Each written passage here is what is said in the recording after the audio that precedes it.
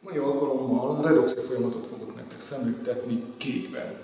Azért kékben, mert a folyamathoz a metilén kék nevű anyagot fogom használni. Hát mindenki láthatja, hogy miért kapta a nevét. Azért szerencsés választás a metilén kék, mert ez az állapota az oxidált állapota. Ha redukált állapotban van, akkor szintelenné válik.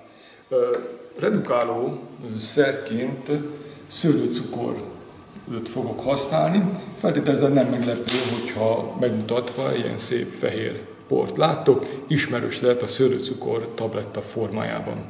Ebből készítek egy vegyszeres kanálnyi oldatot, kémcsőben rakom, hát ebben lesz a szőlőcukor oldat.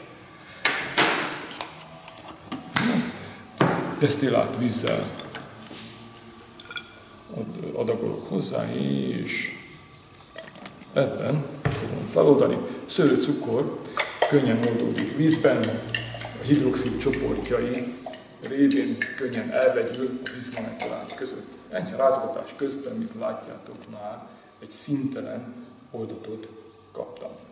A két oldatot most összeöntöm, körülbelül egy-egy anályban, tehát ugyanannyi szőlőcukrot öntöttem hozzá, mint amennyi metilénkék volt. Most a reakció lezajlásához lúgos közegre van szükség, ezért egy kicsit megőrizve az eredeti állapotából átöntöm a metilénkéket új kémcsőben. De bocsánat, egy kicsit visszatartunk.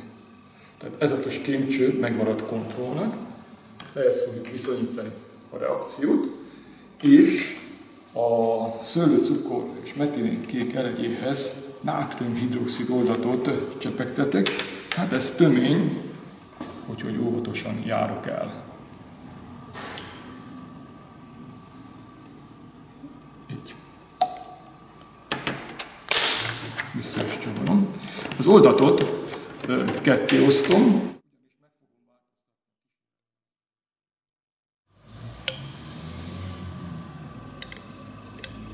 Így. Az egyik kémcsőben, amelyben dugót rakok, ebben majd az oxigént ki fogjuk szorítani, méghozzá széndioksziddal, amelyet a ismert módon sósavból és szóda felhasználásával. Aki számára nem volna egyértelmű, hogy a szóda, azért hadd mutassam meg, hogy az nem egy buborékos ital, hanem egy fehér por a szóda képletét a lombikon látjátok. A széndiokszid kimutatásához majd egy égő gyertyát fogok használni, mielőtt még a kénycsőben adagolnám.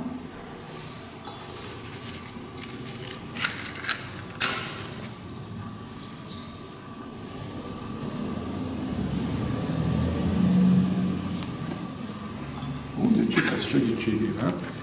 A széndiokszid a levegőnél nehezebb, ezért itt meg tudjuk tartani ebben a főző pohárban. Hát nézzük meg, hogy tényleg fejlődik a széndiokszid, ráengedem a sósavat a szódára. És nem meglepő módon már is pesek a széndiokszid. És nézzük meg, hogy mi történik.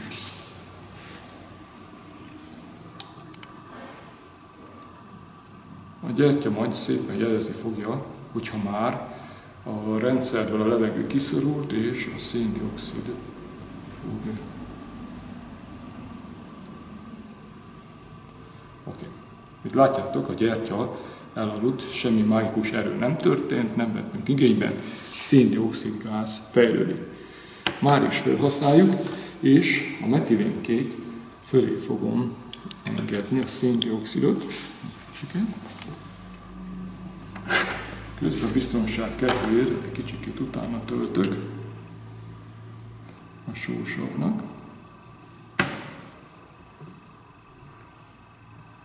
Most meg hadd pesegjem. Úgy, úgy még van szóda a gázfeleztő lombikban, így peseg a széndiokszid. Jó. Úgy gondolom, hogy már megfelelő mennyiségű széndiokszid keletkezett, és Mint látjátok, közben a metilénkéknek a szép kék színe eltűnt. De hogy nem varázsoltunk, amíg, amíg a széndiokszidnál jártunk, ugye itt van az eredeti színe, és ugye ebben tényleg metilénkék van, azzal tudom megmutatni, hogy egyszerűen megrázom a kémcsőt. Ilyenkor a metilénkék voltak újra levegővel átjáródik, és mint látjátok, a kék színe visszajön a metilén kéknek. És ha kicsit várunk, akkor újra elszinteledik. Ezt a folyamatot addig lehet ismételni, amíg szőlőcukor van az oldatban, mert most ebben a pillanatban szőlőcukor dolgozik, és ha minden igaz, akkor szintelni fog válni. Addig megmutatnám a széndiokszidot tartalmazó kémcsőben történik-e változás. Nézzük meg, ha ezt is jól megrázom, már még pár oxigén molekula maradhatott a kémcsőben, és egy kicsikét talán a kék felé akar mozdulni a szint, de a kevés oxigén molekula jelenléte miatt látjátok, hogy szinte elhanyagolható. Közben a bal kezemben lévő kémcsőben a szőlőcukor újra redukálta a metilénkéket, és szintelené vált. Ez a kémcső, még egyszer megerősítve, tehát ha széndiokszid van, azaz nem a széndiokszid a lényeg, hanem hogy nincs oxigén a levegőben, akkor a redukált metilénkék nem fog újra kékké válni, azaz oxidált állapotúban. Ha van levegő a kémcsőben, akkor egy kis rázással ez újra visszavarázsolható a metilénkék kék színe. Köszönöm.